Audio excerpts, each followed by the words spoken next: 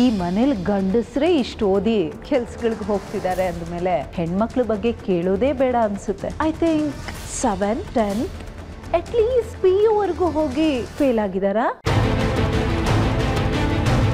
Madam ಅವರ ಈ ಲಗ್ನ ಮಾಡಬೇಕೋ ಬೇಡ ಅನ್ನೋದು ನಿಮ್ಮ ಮ್ಯಾಲ.